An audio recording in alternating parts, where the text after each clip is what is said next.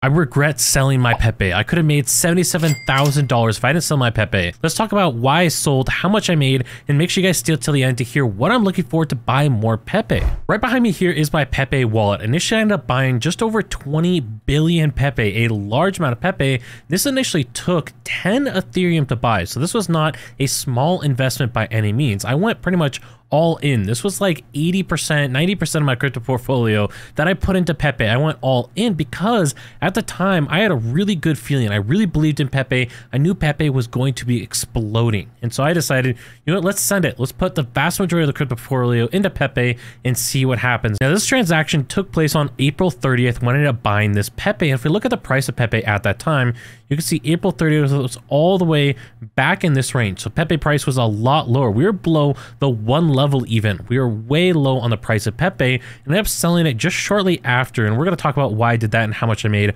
off that trade. But we go ahead and look, you guys can see I ended up selling it on May 4th. So I ended up selling my Pepe on May 4th, which came in right around this point for pricing. So my Pepe went up dramatically and I decided to take the profits. The reason why I sold is because I was looking at it and saw at the time I was going to be profiting substantially on Pepe. I was going to be looking at basically $8,000 gain roughly and I wanted to go ahead and have money to be able to pay my bills going forward for the next couple of months. That's something I wanted as a comfort level for me. That's something I need personally. As always, you guys make sure that you're doing your trades based on what you need. If you want to go for 100x, do that. If you want to make just $1,000 to help subsidize maybe some games you want to buy or whatever, do that. Do whatever is right for you. But for me, what was right for me was make sure I had my money for my bills for the next couple months. So I decided, you know what, I'm going to take the profits, I'm going to cash out and sell the Pepe. Then what I ended up doing later on is doing some swing trading. So in this wallet, you guys can see, ended up buying back into Pepe a little bit later on, and then sold out of Pepe after that a little bit. And what I ended up doing is doing some swing trades. One of those swing trades was up here. I ended up seeing the prices dip down in here and then sold it up here. So got a few thousand dollars off a swing trade there and did another swing trade somewhere in this range as well. So did a couple different swing trades shortly after selling out of my Pepe towards the peak. And these different swing trades allowed my total profit from Pepe to be about six Ethereum worth, about $12,000. So made enough money to cover my bills for a couple months, which was really great. And this was good for me at the time with what I was needing. And this is something that I need to do. But I realized if I had held Pepe and ended up selling at a higher price, not even timing the peak perfectly. Let's go to one hour so you guys can see what I'm talking about, but not even timing this peak perfectly, but instead I end up selling, let's say on this rebound instead right in here, basically at a 3.7, 3.8 level. So not even at this peak, would have made way more if I sold up there at about 4.2, 4.3, but let's say I missed that peak, it sold off, and then I decided to sell right here. If I had done that instead, I would have totally sold my Pepe for $77,000. Again, put it about 10 ETH or about $20,000 at the time, so subtract that, I would have profited about 52 thousand dollars on Pepe, which would have been absolutely crazy to have that much profit on Pepe. I missed out on making all that money on Pepe,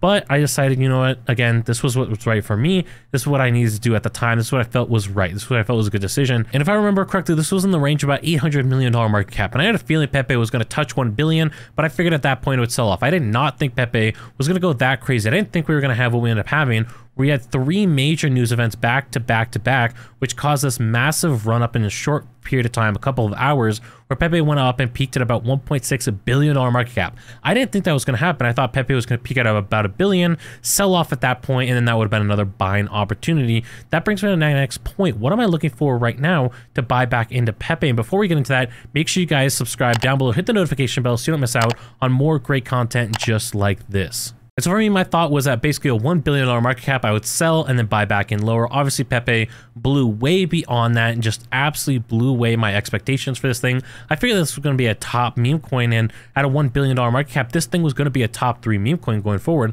I just never thought it was going to go that crazy. And so what happens, Pepe goes that crazy, I get proven wrong.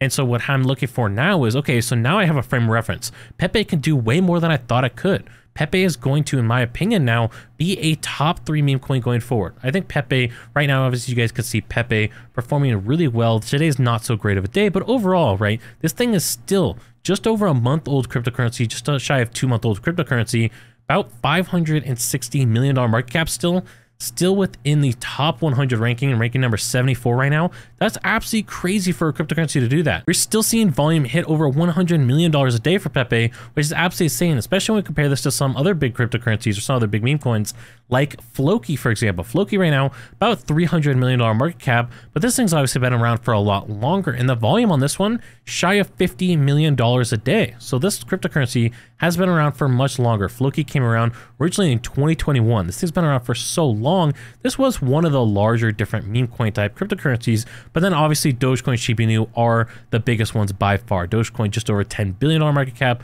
volume just shy of $200 million. Shiba Inu looking kind of similar, about $5 billion market cap, volume just shy of $100 million.